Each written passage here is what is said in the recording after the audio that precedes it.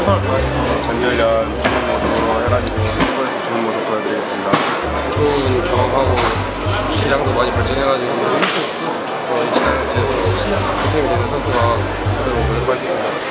후회 없이 하고 오겠습니다. 최대한 열심히 해서 내년 시즌에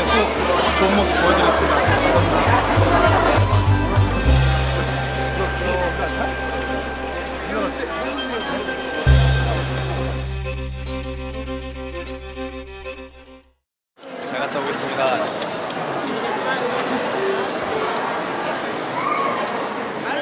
잘 다녀오겠습니다.